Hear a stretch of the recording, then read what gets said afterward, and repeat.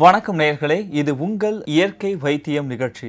நேயர்களே இன்றைய இயற்கை வைத்தியம் நிகழ்ச்சியில் புற்றுநோய் ஏற்பட என்ன காரணம் அதன் அறிகுறிகள் என்ன மற்றும் புற்றுநோய்க்கான இயற்கை மருத்துவம் குறித்த சிகிச்சை முறைகள் சம்பந்தமாக உங்களுக்கு ஆலோசனைகளை வழங்குவதற்காக சென்னை அண்ணா நகரில் உள்ள ரத்னா சித்த மருத்துவமனையின் தலைமை மருத்துவர் டாக்டர் திரு தணிகாட்சலம் நம்மிடையே வந்திருக்கிறார். வணக்கம் டாக்டர். வணக்கங்க. டாக்டர் புற்றுநோய் அப்படிங்கிறது வந்து எவ்வளவு கொடிய நோய் அப்படிங்கிறது எல்லோரும் வந்து தெரிந்தது. ஆனால் இந்த புற்றுநோய் வந்து முன்னாடியெல்லாம் இதற்கான மருந்து வந்து கிடையவே கிடையாது அப்படிங்கிற விஷயம் வந்து சொல்லப்பட்டது. ஆனால் இப்போ எப்படி வந்து நவீன மருத்துவம் வந்து முன்னேற்றம் அடைஞ்சிருக்கோ அதே அதை விட முன்னேற்றமாக நம்முடைய இயற்கை மருத்துவத்திலும் புற்றுநோய் தீர்ப்பதற்கான வழிமுறைகளும் அதிகரிச்சுக்கிட்டே வருது. ஆனால் இந்த புற்றுநோய் வந்து ஏற்படுவதற்கு என்ன காரணம் அப்படிங்கிறது இன்னும் நிறைய பேருக்கு தெளிவாகாமல் இருக்குது அதனால் இந்த புற்றுநோய் சம்மந்தமாக நம்முடைய நேர்களுக்கு வந்து சொல்லுங்கள் டாக்டர். புற்றுநோய் என்பது மிகவும் கொடுமையான ஒரு நோய் அப்படிங்கிறத நம்ம நான் சொல்லி தான் தெரியணும் அப்படிங்கிற அவசியம் கிடையாது. இன்றைக்கி பார்த்தீங்கன்னா ஒரு பெரிய பெரிய பெருந்தலைவர்கள்லாம் கூட புற்றுநோயினால் பலியாகி இருக்கக்கூடிய அகோர மரணத்திற்கு இரையாக இருக்கக்கூடிய ஒரு நிலை இருக்குது இன்றைக்கி நம்மளுடைய தமிழ்நாட்டை பொ பொறுத்த வரைக்கும் கூட பேரறிஞர் அண்ணா என்று எல்லோராலும் அன்போடு அழைக்கப்பட்ட நம்முடைய அண்ணா அவர்கள் புற்றுநோயினால் பாதிக்கப்பட்டார்கள். ஒன்றே குலம் ஒருவனே தேவன் என்று சொன்ன அண்ணாவும் புற்றுநோயினால் பாதிக்கப்பட்டார்.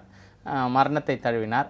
அதே மாதிரி வாழும் கடவுள் என்று பக்தர்களால் போற்றப்பட்ட ரமண மகரிஷி. ரமண மகரிஷியை பொறுத்த வரைக்கும் அவர் தான் கடவுள். அஹ், உயிராய் இருக்கக்கூடிய கடவுள் என்று பக்தர்களால் பூஜிக்கப்பட்ட போற்றப்பட்ட அந்த கடவுள் என்று சொல்லத்தக்க ரமண மகரிஷி அந்த கடவுளும் புற்றுநோயினால் பாதிக்கப்பட்டு புற்றுநோய்க்காகவே மரணம் அடைந்திர மடிந்திருக்கக்கூடிய ஒரு நிலையை பார்த்துருக்கிறோம். அதனால் வந்து இந்த புற்றுநோய் என்பதை பொறுத்த வரைக்கும் பார்த்தீங்கன்னா ஒன்றே குலம் ஒருவனே தேவன் சொன்ன சில காலங்கள் கடவுள் இல்லை என்று சொன்ன பேரறிஞர் அண்ணா அவர்களும் புற்றுநோயினால் இறந்திருக்கிறார். டீப் எக்ஸ்டெயின் வந்து பார்த்திங்கன்னா அவங்களுக்கு கடவுள் என்று போற்றப்பட்ட கடவுளாக கருதப்பட்ட ரமண மகரிஷி அவரும் புற்றுநோயினால் பாதிக்கப்பட்டிருக்காங்க. அதே மாதிரி வந்து பார்த்தீங்கன்னா நிறைய பிரபலங்கள் பேர், வந்து பாதிக்கப்பட்டிருக்காங்க. சாதாரண மனிதர்கள் கூட பேர் பாதிக்கப்பட்டிருக்கிறாங்க.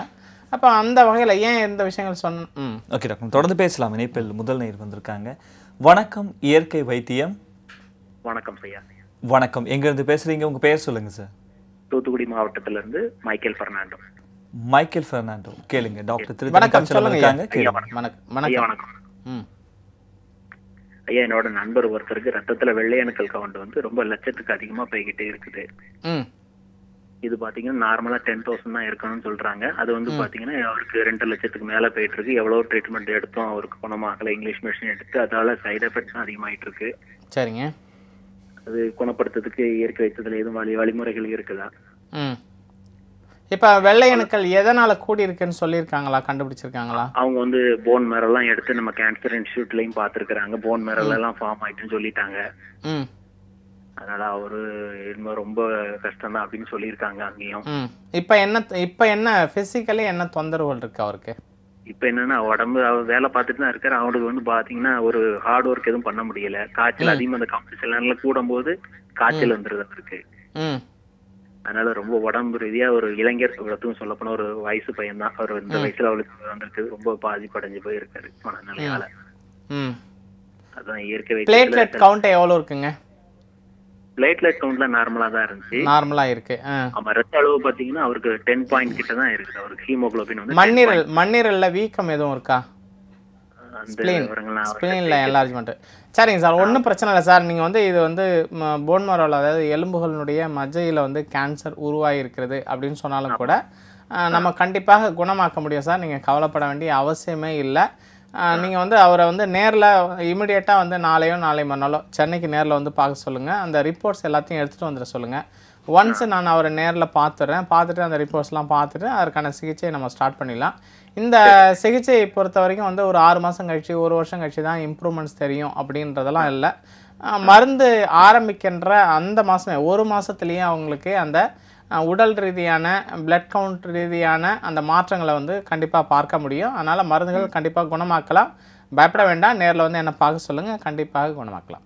நன்றி சார். உங்க தகவல் தொடர்புல வேண்டிய முகவரியை சொல்லிருங்க சார். நன்றி. ஆஹ் இதுல கீழே ஒரு எண் இருக்கு. அந்த நம்பருக்கு கால் பண்ணி நாளைக்கு காலையில ஒரு ஒன்பது மணிக்கு ஃபோன் பண்ணி அப்பாயின்மெண்ட்ஸ் எல்லாம் மற்றதெல்லாம் கன்ஃபார்ம் பண்ணிங்க. நன்றி நன்றி நன்றி வணக்கம். ஓகே நன்றிங்க சார்.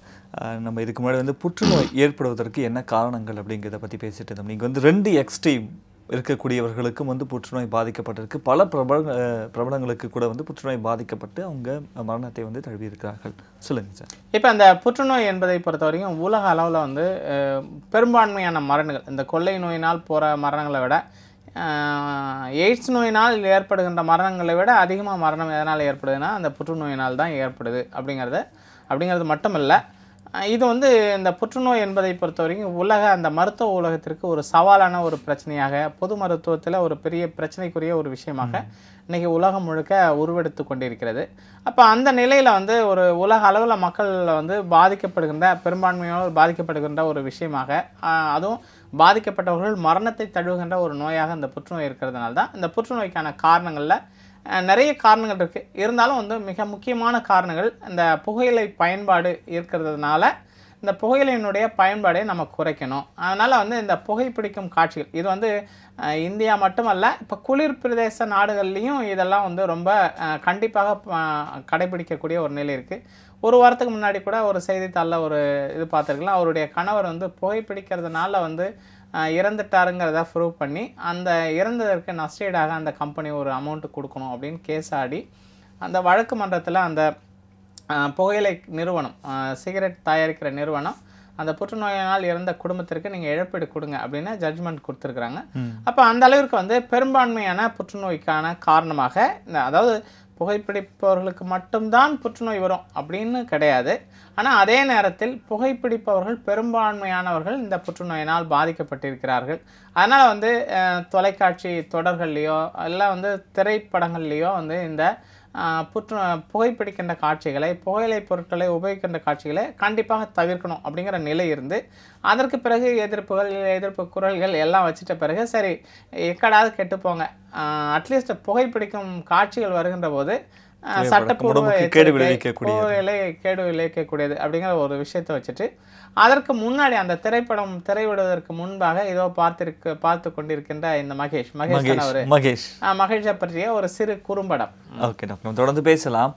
வணக்கம் இயற்கை வைத்தியம். வணக்கங்க. வணக்கம். எங்கிருந்து பேசுறீங்க? உங்க பேர் சொல்லுங்க சார் சென்னையில இருந்து பேசுறேங்க சாமிநாதன் சொல்லுங்க சுவாமிநாதன். கேளுங்க. ஐயா வணக்கம் ஐயா. சொல்லுங்க ஐயா. வணக்கம் ஐயா. இப்ப வந்து அலோபதி மெடிசின்ல நிறைய புற்றுநோய்க்கான சிகிச்சை இருக்கு பட் சில முற்றி போன நிலைமையில வந்து ஒண்ணுமே செய்ய முடியாதுன்னு கை வச்சுதாங்க நிறைய உயிரிழப்பு ஏற்படுது. அப்படி உங்க சிகிச்சை முறையில வந்து அதுக்கு மாற்று இருக்குங்களா? இல்ல அதே மாதிரி தான் இருக்கா என்ன நீங்க கேட்கறது தெளிவா கேளுங்க ஐயா. ரொம்ப முற்றிய நிலையிலையும் குணமாக்க முடியுமான்னு கேக்குறீங்களா? அப்படின்னு கேக்குறேன் ஆமா. அதாவது உயிர் போற நிலையில அஹ், குணமா இருக்கு. நீங்க கட் பண்ணுங்க உங்களுக்கான சில விஷயங்களை நான் சொல்றேன் நான். இந்த புற்றுநோய் என்பதை பொறுத்த வரைக்கும் பார்த்தீங்கன்னா எங்களுடைய மருத்துவமனையில் புற்றுநோயின்னு இன்வெஸ்டிகேஷன் பண்ணுறாங்க கண்டுபிடிக்கிறாங்க.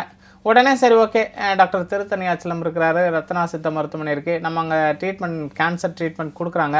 அப்படின்னு ஒருபோதும் ஒரு நபரும் வந்து எங்கள்கிட்ட ட்ரீட்மெண்ட் எடுக்கிறதில்ல. அப்போ எப்படி வராங்க எங்களுக்கு கேஸ் எப்படி வருது அப்படின்னு பார்த்தீங்கன்னா அடையார் போனேன் சார் அங்கே போனேன் சார் இங்கே ஒரு வருஷம் எடுத்தேன் அங்கே எடுத்தேன் ஜிப்மர் போனேன் கீமோதெரப்பி பண்ணேன் ரேடியோ தெரப்பி பண்ணேன் திரும்ப ரெக்கரண்ட் ஆயிடுச்சு திரும்ப ஒன்றும் பண்ண முடியாதுன்னு சொல்லிட்டாங்க ஆப்ரேஷன்லாம் பண்ணாங்க திரும்ப ஒன்றும் பண்ண முடியாதுன்னு சொல்லிட்டாங்க சார்.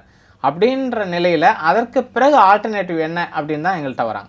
அதனால் பெரும்பான்மை ஒரு 70 to eighty percent of case மற்ற டாக்டர்களால் கைவிடப்பட்ட கேஸ் மட்டும்தான் நான் பார்த்துருக்கிறேன். ஒன்று இப்போ ஐயா கேட்ட மாதிரி சுவாமிநாதன் ஐயா கேட்ட மாதிரி என்ன விஷயம் கேட்டார்னா ரொம்ப முற்றி போன நிலையில் இந்த நோயை குணமாக்குவதற்கு சித்த மருத்துவத்தில் எதுவும் ஆப்ஷன் இருக்கா அப்படின்னு கேட்டேன் நம்ம குணமாக்கியும் இருக்கிறோம். தஞ்சாவூர்லேருந்து ஒரு ஸ்டாஃப் நர்ஸ் அவங்க. அவங்கள பொறுத்த வரைக்கும் பார்த்தீங்கன்னா ரொம்ப முற்றி போய் அதாவது ஸ்கல் மெட்டசிஸ் அப்படிம்பாங்க. அதாவது வந்து மூளையினுடைய அந்த எலும்புகள்லேயே வந்து மேல் எலும்புகள்லேயே மெட்டசிஸ் ஆயிட்டு அதற்கு பிறகு அந்த அம்மா வந்து கோமா ஸ்டேஜுக்கு போயிட்டாங்க. கோமா ஸ்டேஜுக்கு போன பிறகு இனி காப்பாற்ற முடியாது. நீங்கள் வந்து இருக்கிறதுன்னு ஒரு டுவெண்ட்டி ஃபோர் ஹவர்ஸ் இருப்பாங்க. நீங்கள் வீட்டுக்கு கூட்டிட்டு போயிடுங்க அப்படின்ட்டாங்க. அதற்கு பிறகு அவங்க வீட்டுக்காரரு எனக்கு ஃபோன் பண்ணார். நீங்கள் கூப்பிட்டு வந்துருங்க அப்படின்னு.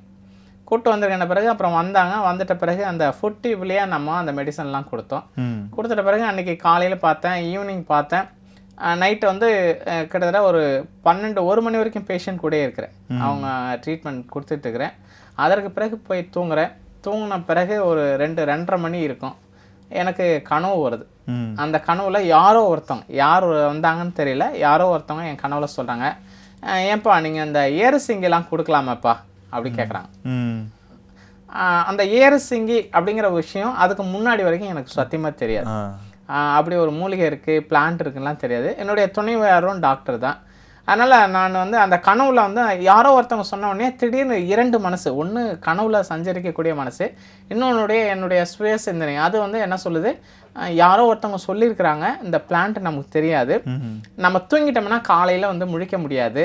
அதனால் வந்து எப்படியாவது எழுந்திருக்கணும் எழுந்திருக்கணும் எழுந்திருக்கணும்னு சொல்லிட்டு ரொம்ப கஷ்டப்பட்டு போராடி தூக்கத்துலேருந்து எழுந்துச்சு உட்காந்துட்டேன் மணி ரெண்டரை மணி இருக்கும். எழுந்து உட்காந்துட்டு ஒய்ஃபு பக்கத்தில் தட்டி எழுப்புறேன். தட்டி எழுப்பிட்டு ம், அவ வந்து எம்டி சித்தா. தட்டி எழுப்பிட்டு இந்த மாதிரிம்மா எனக்கு ஒரு கனவு இப்போ வந்திருக்குது. யாரோ ஒருத்தவங்க வந்து நீ ஏன் ஏர் சிங்கி கொடுக்கல? கொடுக்கலாம்ல? அப்படின்னு சொல்கிறாங்க ஏர் சிங்கின்னு சொல்லிட்டு ஒரு மூலிகை உனக்கு தெரியுமா? அப்படின்னு கேட்டேன். உடனே அவ சொன்னா இல்லை எனக்கு தெரியாது. ஆனால் எங்கேயோ படிச்ச மாதிரி எனக்கு ஒரு ஞாபகம் இருக்குது அப்படின்னு மாதிரி படிச்ச மாதிரி. அப்புறம் காலை விடிந்த உடனே கார் எடுத்துக்கிட்டு டிரைவரை கூப்பிட்டு கார் எடுத்துக்கிட்டு நேராக கொல்லிமலை போகிறேன் கொல்லிமலை போயிட்டு அங்கே வரதராஜன் ஒருத்தர் அவர் போய் காலை நைட்டு போய் தங்கிட்டு காலையில் எழுந்து போய் அவரை தட்டி எழுப்புறேன். எழுப்பிட்டு என்ன சார் காலையிலே வந்துட்டீங்க அப்படின்னாரு. இல்லைப்பா இந்த மாதிரி வந்து ம், ஏறு சிங்கின்னு சொல்லிட்டு ஒரு மூலிகை வேணும். அந்த மூலிகை வந்து இங்கே கொல்லிமலையில் கிடைக்குமா அப்படின்னு. கிடைக்குமான உடனே இல்லை சார் நம்ம அந்த சின்ன மலையில் போனீங்கன்னா அங்கே கிடைக்கும். பட் ஆனால் அங்கே போகிறது ரொம்ப ஆபத்தானது. என்னன்னு பார்த்தீங்கன்னா அந்த மூலிகைகளுடைய ரெண்டு பக்கமும் முள் மாதிரி இருக்கும். ஓகே. அது வந்து நிறைய கொத்து கொத்தா அது வந்து கீழே இருந்து மரம் வழியாக மேலே ஏறி ஏறி போகும் அது. அதனால தான் அதுக்கு பேர் ஏறு சிங்கின்னு பேர். ஏதாவது ஒரு காட்டு விலங்குகளோ கரடியோ ஏதாவது அது வழியாக வந்துச்சுன்னா ரெண்டு கொடிக்கு இடையில மாட்டுக்குச்சுன்னா அது கொக்கி போட்டுரும். ஓகே. கொக்கி போட்டுச்சுன்னா அந்த கரடி வந்து அங்கேயும் போக முடியாது இங்கேயும் போக முடியாது. ஸ்டடியாக நின்றுடும் சார் ரொம்ப ஆபத்தான மூலிகை அது அப்படின்னாரு. இல்லை பரவாயில்ல நான் பார்க்கணும் அதை பார்த்துட்டு எனக்கு கொஞ்சம் மூலிகை வேணும் அப்படின்னா அப்புறம் கார்லேயே போயிட்டு அப்புறம் கொஞ்சம் தூரம் காட்டுப்பாதையில் நடந்து போய் அந்த மூலிகையை கட் பண்ணி அந்த மூலிகை பற்றி எந்த குறிப்பும் கிடையாது. அவங்க குணபாடத்துலேயோ இல்லை மருத்துவ நூல்களையோ இல்லை சித்த மருத்துவ குறிப்புலையோ எதுவும் கிடையாது. என் கனவில் வந்த ஒரு மூலிகை வந்த உடனே நான் என்ன பண்ணுறேன் அதனுடைய இலைகள் கொஞ்சம் அப்புறம் காட்டினர். இதுதான் மூலிகை சார் இதுதான் ஏறு சிங்கின்னு சொல்கிறது அப்படின்னாரு. அப்புறம் அந்த இலை கொஞ்சம் தண்டு கொஞ்சம் அந்த முள் கொஞ்சம் அதனுடைய வேர் அதாவது சமூலம். ஏதாவது ஒரு மருந்துன்னா அது சமூலமாக்கி கொடுக்கறது அப்படிங்கிறது. அதனால் அந்த வேரையும் பறித்து வேரினுடைய பட்டை இது எல்லாத்தையும் கலெக்ட் பண்ணேன். கலெக்ட் பண்ணிட்டு ரொம்ப கஷ்டப்பட்டு கலெக்ட் பண்ணேன். ஏன்னா அந்த மலைக்கு போய் சரியாக ரொம்ப கஷ்டப்பட்டேன் நான். பண்ணிவிட்டு அப்புறம் என்ன பண்ணுறதுன்னு தெரியாது. பண்ண பிறகு அதை நிழலில் உலர்த்தி. ஓகே டாக்டர் நேரில் உழைத்து வச்சிருக்கலாம். மீண்டும் முன்னேறி வந்திருக்காங்க. வணக்கம் இயற்கை வைத்தியம். ஹலோ? வணக்கம். எங்கேருந்து பேசுறீங்கம்மா நீங்க? நாங்க கோயம்புத்தூர்ல இருந்து பேசுறேங்க. சொல்லுங்கம்மா. டாக்டர் இருக்காங்க. உங்க சந்தேகத்தை கேளுங்க. வணக்கம். சொல்லுங்கம்மா. ஆ இது என் பேர் சுமதிங்க. என்னோட அத்தைக்கு வந்து சிஏ சிக்மாய்டு காலேஜ் ஜங்ஷன்ல வந்து சிஏ இருந்தது. ஆப்ரேட் பண்ணிட்டாங்க. ஏற்கனவே வந்து சிஏ சீக்கம்ல இருந்து சிஏ சீக்கம் ஆப்ரேட் பண்ணிட்டாங்க ஒரு செவன் இயர்ஸ் முன்னாடி. இப்போ திரும்பியும் வந்து இப்போ திரும்பியும் ஆப்ரேட் பண்ணிட்டாங்க. கோலன் செமி கோலனெக்டமி பண்ணிருக்காங்க. அப்புறம் இப்போ வந்து ஹீமோதெரப்பி ஸ்டார்ட் பண்ணணும்னு சொல்லிட்டு இருக்காங்க அப்புறம் உங்களோட இதை வந்து டிவில பார்த்தேன். அதான் சரி உங்ககிட்ட இனிமேல இனிமேலும் உங்களுக்கு கேன்சர் வராம இருக்க உங்க இதுல ம் கண்டிப்பாக பண்ணலாமா? கண்டிப்பாக பண்ணலாமா? இது வந்து நம்ம இம்யூனோதெரப்பி மாதிரி தான் கொடுக்குறோம் இது வந்து அவங்களுடைய ஒட்டுமொத்த நோய் எதிர்ப்பு சக்தி அதிகமாக்கி கேன்சர் உடம்பின் எந்த நிலையில் இருந்தாலும் எந்த வகையாக இருந்தாலும் எந்த ஏரியாவில் இருந்தாலும் அதை குணமாக்குற மாதிரியான மருந்து தான் இது. அதனால் ஒன்ஸ் கேன்சர் வந்தவர்களும் கூட இந்த சிகிச்சை எடுத்துக்கலாம். கண்டினியூ பண்ணலாம் ஒன்று ரெண்டாவது கேன்சர் இருக்குது ரொம்ப சிவியராக பெயினால் அவஸ்தைப்படுறாங்க.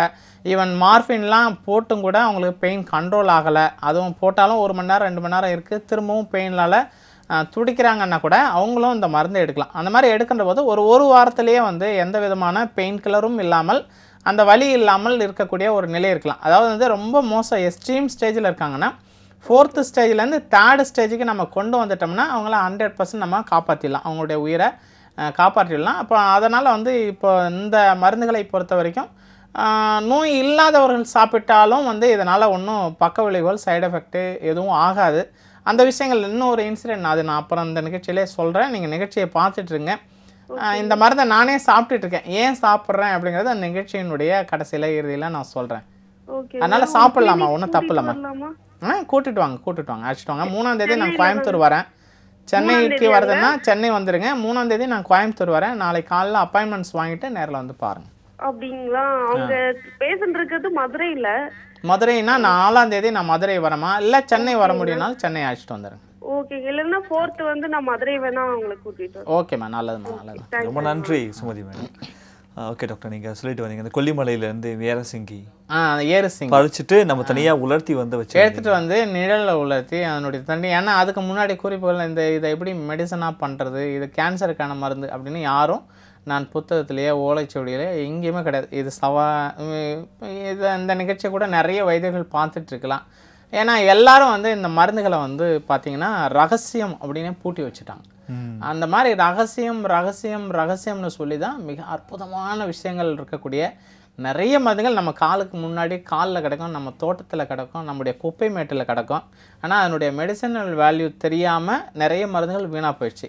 அந்த மாதிரி ஆயிடக்கூடாதுங்கிறதுக்காக தான் அந்த நேரலையில் கூட அந்த மருந்தினுடைய பேரையும் நான் சொல்கிறேன் ஏன்னா என்னுடைய லைஃப்னு பார்த்தீங்கன்னா வெரி ஷார்ட் ஒரு முப்பது வருஷமோ நாற்பது வருஷமோ ஐம்பது வருஷமோ இருக்கலாம். அதுக்கப்புறம் நானும் செத்து தான் ஆகணும். மரணத்தை தழுவிதான் ஆகணும். ஆனால் இந்த சமூகம் இருக்கும் உலகம் இருக்கும். பின்னாடி வரக்கூடிய அந்த வைத்தியர்கள் பின்னாடி வரக்கூடிய சித்த மருத்துவத்தை படிக்கக்கூடிய மாணவர்களுக்கு இது பயன்படுங்கிறதுனால தான் என் கனவில் வந்த அந்த ரகசியத்தை இந்த நிகழ்ச்சியில் நேரலையில் நான் போட்டு உடைச்சிருக்கேன். ஓகே டாக்டர் மீண்டும் முன்னேறி வந்திருக்காங்க. வணக்கம்மா எங்கேருந்து பேசுறீங்க நீங்க? சார் நான் தீபா கடலூர்ல இருந்து பேசுறேன். சொல்லுங்க தீபா கேளுங்க. சார் எங்க சித்தப்பாக்கு வந்து கேன்சர் சார். வந்து ஒன் இயரா இருக்குன்னு சொல்றாங்க. எந்த சிம்டம்ஸ்மே தெரியல. இப்போதான் ரீசெண்டா தான் கண்டுபிடிச்சாங்க. ஃபர்ஸ்ட் அவருக்கு இப்போ ஒரு தேர்ட் சிட்டிங் முடிச்சிருக்காரு கீமோ என்னன்னா போன் ஃபுல்லாவே இருக்கு அப்படின்னு சொல்றாங்க. கியூர் பண்ண முடியுமா சார்? இது வரைக்கும் சொன்னவங்க எல்லாமே போன் ஃபுல்லாவே பரவி இருக்கு எல்லா இடத்துலயுமே இருக்குன்னா கண்டிப்பா கியூர் பண்ண முடியாதுன்னு தான் சொல்றாங்க. சரிம்மா வெளியில கடலூரில் இருக்கிறீங்கன்னா ஓகே ஓகே. நீங்கள் கடலூர்லேருந்து பேசுகிறீங்கன்னா ஆறாம் தேதி நான் பாண்டிச்சேரிக்கு வரேன். நீங்கள் கேட்குற கேள்விக்கு இப்போ நான் முன்னாடி சொன்ன பதிலினுடைய இறுதியில் அதற்கான விடை கிடைக்கும். நீங்கள் இல்ல டெலிஃபோனை வந்து நாங்க இப்பதான் சார் டிவி ஆன் பண்ணோம். அதனால நான் கியூர் அல்ல அதற்கான ஆன்சர் நான் அடுத்து நான் பேசுகிறேன் முன்னாடி ஒரு ஆன்சர் பேசிட்டு இருக்கிறேன். அதுலேயும் இதற்கான ஆன்சர் வரும். நீங்கள் நிகழ்ச்சியை பாருங்க கொஞ்சம். நன்றி. சொல்லுங்க டாக்டர் அப்புறம் அந்த ஏறுசிங்கி மூலிகை எடுத்துகிட்டு வந்தேன். அந்த சமூலமாக அதை கொடி தண்டு முள் வேர் வேரினுடைய பட்டை இதெல்லாம் எடுத்துகிட்டு வந்து சமூலமாக்கிட்டு இதை வந்து பேஷண்ட்டுக்கு கொடுக்கறதுக்கு முன்னாடி பேஷண்ட் கொடுத்துடக்கூடாது அப்போ நம்ம சாப்பிட்டு பார்ப்போம் அப்படின்னு சொல்லிட்டு அதை தேனில் குழச்சி சாப்பிட்டேன். சாப்பிட்டேன்னா அவ்வளோ ஒரு ஆசிட் மாதிரி இருந்தது. அவ்வளோ நாக்கில் வச்சா மன- அரிப்புடன் மன- கூடிய மன- ஒரு மன- விதமான விறுவிறுப்பாக இருந்தது அந்த மூலிகையினுடைய சுவை. அதற்கு பிறகு அதை ஆக்கி அந்த பேஷண்ட்டுக்கு அதற்கு அதற்கிடையில் அதற்கு முன்னாடியே நான் கேன்சருக்கான மருந்துகள் பச்சளை சாறு சிகிச்சை அமிர்த சஞ்சீவி மூலிகை சாறு சிகிச்சைலாம் ஆரம்பிச்சிட்டேன். ஆரம்பிச்சிட்ட பிறகு மூன்றாவது நாளே கண் விழிச்சிட்டாங்க கண் விழிச்சு பேச ஆரம்பிச்சிட்டாங்க. கோமாவில் இருந்தவங்க. அதற்கு பிறகு என்ன பண்ணேன்னா இந்த ஸ்கல் மெட்டாசிஸ் ஸ்கல் மெட்டாசிஸு அவங்களுடைய மாமா ஒருத்தர் வந்து இங்கே மருத்துவக் கல்லூரியில் த பேராசிரியராக இருக்கிறாங்க. அவரும் வந்து பார்த்துட்டு ஸ்கல் மெட்டாசிஸ் ஆன பிறகு எதுக்கு வேஸ்ட்டாக அங்கேருந்து இவ்வளோ தூரம் கூப்பிட்டு வந்தீங்க? தஞ்சாவூர்லேருந்து எதுக்கு வேஸ்ட்டாக வந்து சென்னை வரைக்கும் கூப்பிட்டு வந்தீங்க? ஏன் இவ்வளோ சிரமப்படுறீங்க அப்படின்னு அவரும் சொன்னார். அப்புறம் அவரும் என்கிட்ட ஆர்கியூ பண்ணார். இல்லை சார் நான் மருந்து கொடுத்துருக்கேன். கோமாலேருந்து வந்திருக்கிறாங்கல்ல. தெளிவாயிட்டாங்க. நினைவு வந்து வந்துருச்சுல்ல அப்படின்னு சொல்லிட்டு அவரை சமாதானப்படுத்திட்டு அதுக்கப்புறம் இந்த ஏர் சிங்கி மருந்தையும் கொடுத்தேன். கொடுத்துட்ட பிறகு அதுக்கப்புறம் ரொம்ப தெளிவாயிட்டாங்க. நல்லா சாப்பிட ஆரம்பிச்சிட்டாங்க. சரியாக முப்பது நாள். முப்பது நாள் கழிச்சு திரும்பவும் எம்ஆர்ஐ ஸ்கேன் முன்னாடி எம்ஆர்ஐ எடுத்து தான் ஸ்கல் மெட்டாசிஸ் இருக்கிறதா கன்ஃபார்ம் பண்ணியிருக்கிறாங்க. திரும்பவும் முப்பது நாள் கழிச்சு திரும்பவும் ஸ்கல் மெட்டாசிஸ் அது இருக்கா அப்படின்னு பார்க்குறதுக்காக எம்ஆர்ஐ எடுத்து பார்த்தால் முப்பதாவது நாள் நார்மல் ஸ்டடி அதில் வந்து மெட்டசிஸ் எதுவும் இல்லை அப்படின்ற மாதிரி ரிப்போர்ட்ஸ் வந்துச்சு. மூன்று மாதம் கழித்து அவர்கள் முன்னாடி பணியாற்றிய அந்த பொது மருத்துவமனையில் திரும்பவும் இவங்க பணியில் சேர்றாங்க. ஓகே அந்த அளவுக்கு வந்து ஒரு குயிக் அதாவது இப்போ இருக்க பின்னாடி ஒரு சகோதரி கேட்டிருந்தாங்க. அதாவது எலும்புகளுக்குள்ளால மெட்டசிஸ் ஆயிடுச்சுன்னா கேன்சர் பரவிட்டால் குணமாக்க முடியுமான்னு. அதற்காக தான் இந்த ஆன்சர் சொல்லியிருக்கிறேன். அதனால் வந்து ஐயா சுவாமிநாதன் ஐயா அந்த நிகழ்ச்சியை பார்த்துட்டு இருக்கிறீங்க. இது அந்த மாதிரி வந்து சில விஷயங்கள் நடந்திருக்குது. அதனால் வந்து இந்த சித்த மருந்துகளை பொறுத்த வரைக்கும் பார்த்தீங்கன்னா இது ஒரு பக்கம். ஆரம்ப நிலையிலே நம்ம வருகின்ற போது கண்டிப்பாக முழுமையாக குணமாக்கலாம்.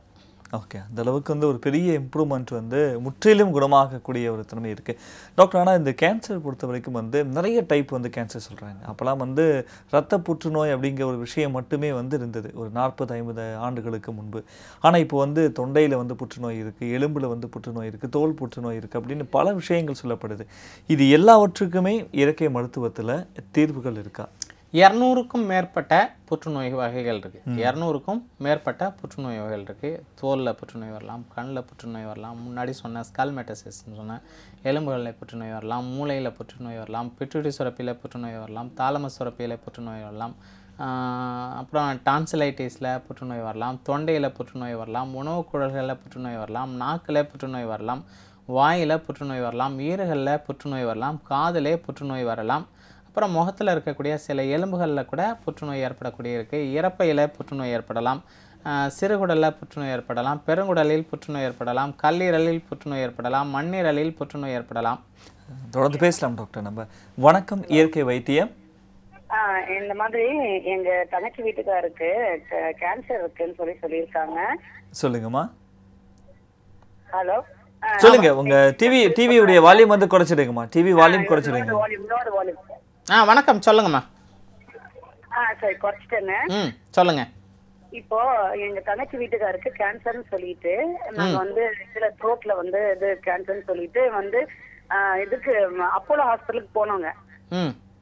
அப்போ வந்து என்ன ஆச்சு அப்படின்னா அங்க போயிட்டு எல்லாம் இது பண்ணிட்டு ஒரு கட்டி இருக்கு வயித்துல அப்படின்னு சொல்றாங்க. அது வளர்த்து உணவு குழாயில ஒரு கட்டி இருக்கு அப்படின்னு சொல்லி சொன்னாங்க. 95% ஃபைவ் பர்சன்ட் கேன்சர் இருக்கு அப்படின்னு சொல்லிட்டு சொல்றாங்க. அது வந்து அதாவது ஒரு சிஸ்ட் மாதிரி அது இருக்கு அப்படின்னு சொல்றாங்க. அதுக்கு வந்து ஏதாவது கியூர் ஏதாவது இருக்குங்களா? கண்டிப்பாக பண்ண முடியுமா? குணமாக்கலாம். கண்டிப்பாக குணமாக்கலாம். நீங்கள் வந்து எங்கேருந்து பேசுகிறேன்னு சொன்னீங்க? நாங்க தருமபுரியில இருந்து பேசுறோங்க. ஏன்னா உணவு குழல் புற்றுநோய் வந்து இறப்பை புற்றுநோய் பெரிய அளவில் ரெஸ்பான்ஸ் இல்லைன்னு நம்பப்படுகிறது. ஆனால் நம்முடைய மருந்துகளில் உணவு குழலில் இருக்கக்கூடிய புற்றுநோய் கூட நல்லா குணமாக இந்த இப்போ நம்ம கொடுத்துட்டு மருந்து நல்ல முறையில் குணமாகுது. அதே மாதிரி வந்து அது மெட்டசிஸ் நிலையில் இருந்தாலும் இது வேலை செய்யும். அதனால் நீங்கள் நேரில் வந்து பாருங்கள் ரெண்டாம் தேதி தருமபுரி வரேன். அங்கே வந்து பார்க்கலாம் இல்லைன்னா நீங்கள் சென்னையில் கூட வந்து பார்க்கலாம் நீங்கள் காலையில் ஆஃபீஸ்க்கு எப்ப வருவீங்க?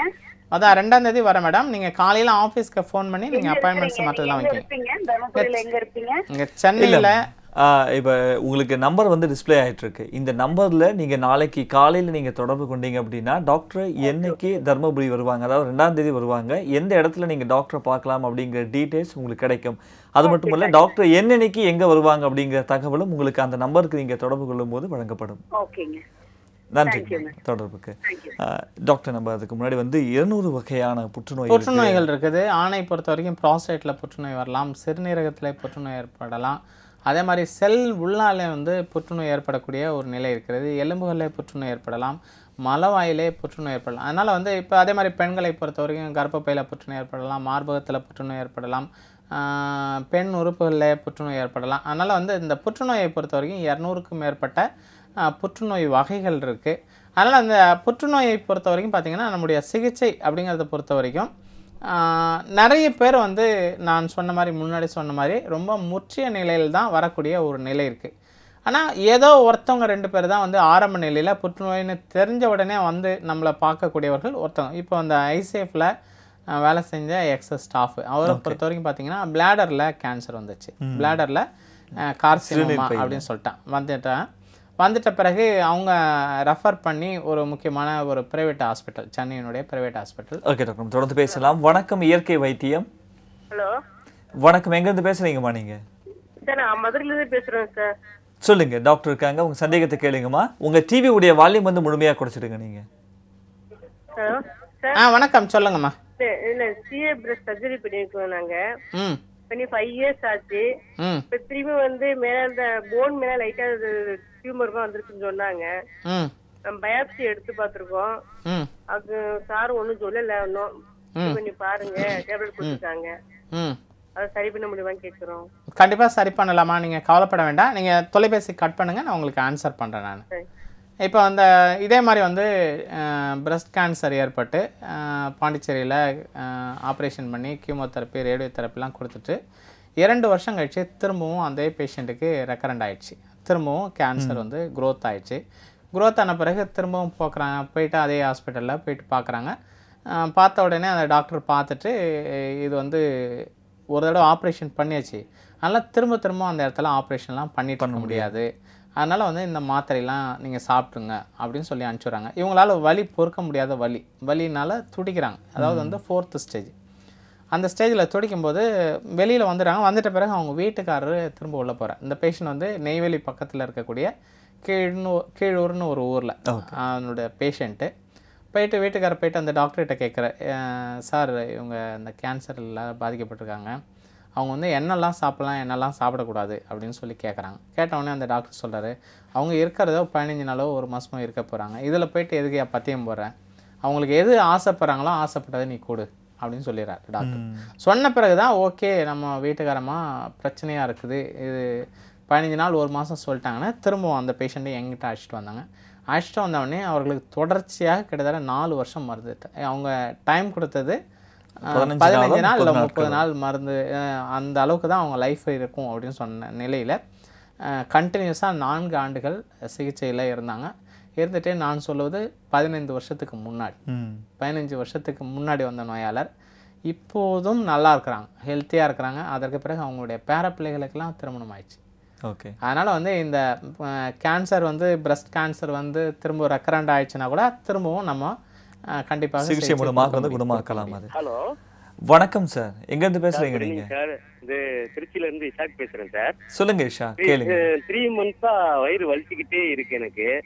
ஸ்கேனு டிடி ஸ்கேனு எல்லாமே எடுத்து பார்த்தேன். இப்ப பெருங்குடல்ல கேன்சர் இருக்குன்னு சொல்றாங்க. ம். பெருங்குடல்ல கேன்சர் இருக்கு. பக்கத்திலேயே கல்லீரல் டீம் பாதிப்பா இருக்கு. நீங்க உடனேக்கு உடனே நீங்க ஆபரேஷன் பண்ணி ஆகணும். இல்லைன்னா ரொம்ப சிரமமான ஒரு இதுல இருக்கு. நீங்க எவ்வளவு சீக்கிரமா நீங்க ஆபரேஷன் பண்ணிடுறீங்களோ அவ்வளவுக்கு அவ்வளவு உங்களுக்கு நல்லது. கல்லீரலும்? சொல்றாங்க. கல்லீரல் பாதிச்சிருக்குங்களா இந்த மருந்துல அது இருக்குங்களா? கல்லீரல் பாதிக்கப்பட்டிருக்குங்களா? கல்லீரல் இன்னும் பாதிக்கப்படல சார். கல்லீரல் பாதிக்கப்படல. கல்லீரல்ல வந்து பரவுற மாதிரி கண்டிஷன்ல இருக்கு. அது வந்து இப்ப ஸ்கேன்ல எல்லாம் தெரியாது. வயிற்றை கிழிச்சதுக்கு அப்புறம் தான் அது உள்ள திறந்து பார்த்ததுக்கு அப்புறம் தான் என்ன இருக்கு? என்ன இப்ப பிரச்சனை அப்படின்னு சொல்லிட்டு அவங்களுக்கு தெரியும். அப்படின்ட்டு சொல்றாங்க. எனக்கு கொஞ்சம் பயமும் வேற இருக்கு. அவங்க ஆபரேஷன். பண்ணும்போது செவன்டி ஃபைவ் பர்சன்டேஜ் தான் உயிரோட இருக்கும் அப்படின்றது மாதிரியும் கூட சொல்றாங்க.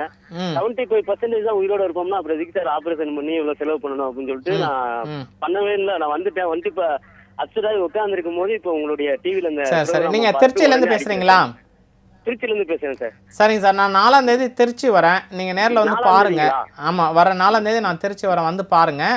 அது இல்லாம நீங்க வந்து ட்ரீட்மெண்ட்டுக்கு சென்னை தான் வர மாதிரி இருக்கும். அதனால நாங்க பார்த்துறேன் பார்த்துட்ட பிறகு நீங்க என்னைக்கு டேட் சொல்றோனோ அந்த டேட்டுக்கு நீங்க சென்னை வந்துட்டீங்கன்னா இதற்கான சிகிச்சை நம்ம கண்டிப்பா கொடுக்கலாம். பயப்பட வேண்டாம். தைரியமா இருங்க. சரிங்களா? இப்ப ஒண்ணும் பிரச்சனை இல்லைங்களா சார்? ஒன்றும் ப்ராப்ளம் இல்லை சார். பயப்பட வேண்டாம். கண்டிப்பாக சிகிச்சை கொடுக்கலாம். சிகிச்சையில் கண்டிப்பாக குணமாகிறதுக்கான வாய்ப்புகள் இருக்கு. Okay okay. நன்றி இஷாக். ஓகே நிறைய பேர் வந்து சொல்லும்போது அந்த முற்றிய நிலை அதாவது பல வருடங்களாக இருக்குது மாதிரி வந்து எழுபத்தைந்து பர்சன்டேஜ் தான் வந்து நான் உயிரோடு இருப்பேன் அப்படிங்கிற மாதிரி சொல்லியிருக்காங்க. அப்படின்னு ஒரு முற்றிய நிலையை தான் வந்து நிறைய பேர் வந்திருக்காங்க. அதில் எந்த விதமான கேன்சராக இருந்தாலும் அவர்களுக்கு முழுமையாக குணமளிக்க இப்போ நம்ம அந்த ஃபோர்த்து ஸ்டேஜில் இருக்கிறது தான் இந்த வலி இருக்குது மெட்டசிஸ் ஆகிருக்குது இது எல்லாமே ஃபோர்த்து ஸ்டேஜ் இந்த ஃபோர்த்து ஸ்டேஜை பொறுத்த வரைக்கும் நம்ம கேரண்டி வாரண்டி அதெல்லாம் கொடுக்க முடியாது. இந்த ஃபோர்த்து ஸ்டேஜ்லேருந்து தேர்டு ஸ்டேஜுக்கு நம்ம கொண்டு வந்துட்டோம்னா கண்டிப்பாக அவங்கள முழுமையாக குணமாக்கிட முடியும். நான் இப்போ நான் சொன்னது ஃபுல்லாக இப்போ நான் முன்னாடி நிகழ்ச்சியினுடைய ஆரம்பத்திலே நான் சொன்னேன். என்ன விஷயம் சொன்னேன்னா எங்கள் நம்மகிட்ட வர்ற எல்லா பேஷண்ட் பெரும்பான்மையான பேஷண்ட் வந்து எல்லா டாக்டரும் பார்த்துட்டு கீமோதெரப்பி ரேடியோதெரப்பி ஆப்ரேஷன் சர்ஜரி எல்லாத்தையும் முடிச்சுட்டு பேக் வச்சுட்டு பை வச்சுட்டு டீப் வச்சுட்டு வர கண்டிஷனில் வரக்கூடியவர் தான் பெரும்பான்மையாக வர்றாங்க அப்போ ஆரம்ப நிலையிலே வரக்கூடியவர்கள் ரொம்ப குறைவாக இருக்கிறாங்கன்னு சொன்னேன். அதனால் வந்து இந்த ஃபோர்த்து ஸ்டேஜுங்கிறத பொறுத்த வரைக்கும் ரொம்ப முற்றிய நிலை அப்படின்னு நம்ம சொல்லலாம். அதனால் வந்து அந்த ஸ்டேஜில் இருக்கக்கூடியவர்களுக்கு நம்ம ட்ரீட்மெண்ட் கொடுப்போம். அது வந்து தேர்டு ஸ்டேஜுக்கு வந்துட்ட பிறகு கண்டிப்பாக நம்ம குணமாக்கலாம். Okay doctor